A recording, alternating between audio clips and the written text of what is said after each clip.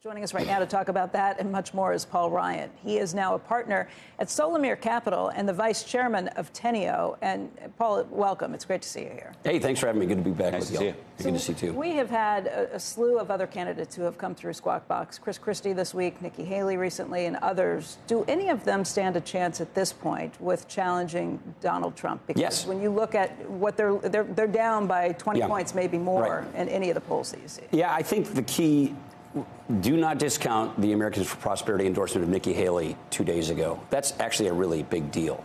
Um, the reason that that's a really big deal is you could say that Ron DeSantis' big advantage over Nikki Haley was his ground game in Iowa, which is impressive. Americans for Prosperity has an extremely impressive ground game. Uh, this is the Koch Network's um, ground game. They just gave that to Nikki Haley. So not only does that level her up in Iowa with Ron DeSantis, that gives her a ground game in all these other states. And the calendar plays to her advantage. So I'm not saying I'm a, you know all for Nikki Haley. I'm for beating Donald Trump. I'm for any Republican who can beat Donald Trump. But I think if you had to pick a growth stock, I think Nikki's the growth stock. And the fact that she got this endorsement, I think, matters a lot. So the question is, since more than about half Republicans do not want Donald Trump to be our nominee, I'm among those half can someone consolidate the sport in time to win? And the question, I think, I think that that's that's possible. I think that's possible. Is it, he's got 66 percent in the polls, though, against the other candidates. He, he's. I'm not saying this is going to happen, but I think it's still plausible because things can still happen. She's got a lot of momentum. After Iowa, you could see a consolidation. We'll see what happens in Iowa, but you could see a consolidation. And if and if one person can quickly consolidate the non-Trump field I think because of these other atmospherics like AFP's endorsement and the rest, you could see you know a plausible contention for the nomination. Here's the reason: in the in the head-to-head polls, people do better against Joe Biden than Donald Trump does. I think the only person Biden can beat is Trump, and frankly, I think he does beat him. Because you know why? Democrats come home at the end of the day, and Democrats will come home if they're motivated. And you know what motivates Democrats? Donald Trump. So I think Biden still ends up beating Trump at the end of the day. Um, but I do not think he can beat any of these other candidates. If, if, Chris Christie, Ron DeSantis, Nikki Haley are up against uh, Joe Biden, they win. Nikki beats Joe Biden by like 13 points in some polls. In Wisconsin, she's beating him by 10 points. That's an incredible. But here's poll. the question: You're taking one poll on that side saying that Nikki Haley would would, would beat him, uh, beat Biden, that is. Yes. But then you're saying you don't believe the polls the no, I do believe that. Actually, right no, I, no, no, actually Trump would beat Biden I, too. I, I, do believe the polls that Donald Trump is way in the lead in the Republican primary. That is for sure the case. No, but, but no, almost prohibitively, almost prohibitively. national level, and then you also look. Well, that's that's what I'm. That's what's going on in my mind when he asks. Right? It's you got to state by state. Okay, but you can look at the five. What is it? Five of the six swing, swing states. states. He was, uh, he was only down in Michigan. I think. Right. Yeah, so what do you, you, think that those are wrong? I mean, that. Yeah, I think I think I think Democrats come home if they're really motivated, and I think I think it's hard to motivate and not reflected in in in the polls today because yeah, I've been in politics a long time. I've been through a lot of presidential cycles. I ran for vice president right. in 2012, and, and you, lots of churn were, happens. You were up too. What's that? You, we were up too. We were we were beating at this time. Uh-huh. Mitt and I. I wasn't even on the ticket. Then Mitt was beating you know Barack Obama. I've right. seen this movie before, right. and I'm saying. Paul, you Trump see, motivates you saw Democrats. Musk yesterday. I mean, I have a problem with that. The First Amendment stance Nikki Haley has on a non on. on yeah, I don't agree with that either. Well, you know, but I, I'm, I she's also winning. She's almost like a neocon in certain respects. I don't want to see Joe Biden become the next president, and I don't want to see Donald Trump become the so next president. I want to see a conservative become the next not president. Not everyone's perfect, but Nikki Haley exactly. is as close to. Yeah. I, look, I'm. Not. I want just one. I'd be happy if if Christie or Ron, you know, DeSantis gets the nomination. Um, I think Nikki's in the pole position here. I think she's. I think she's getting a lot of momentum.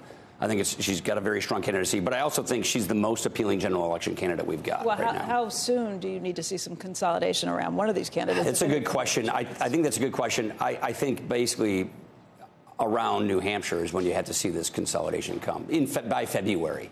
You know, between between Iowa Before and South, South Carolina. Carolina or? Well, I think you'll know by South Carolina. I think either Christie gets in, stays in, or gets out after New Hampshire. Same with DeSantis in Iowa. So I think the map makes the consolidation story you for see, uh, Governor Christie was on the other day. His contention is that once Meadows flipped. Yeah. Yeah, I've heard him say that. He's convinced there will be a felony conviction. Do, do you, yeah, I mean, I look. I was, obviously, I'm not a big Trump sympathizer, but the problem is the people who go against him on the left, you know, make him a victim. All these New York right. cases seem pretty BS to me.